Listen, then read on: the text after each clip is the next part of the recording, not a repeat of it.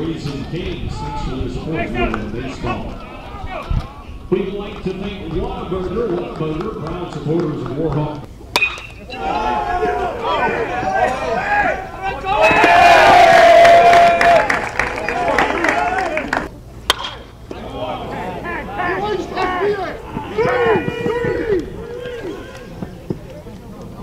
Come on, Kobe!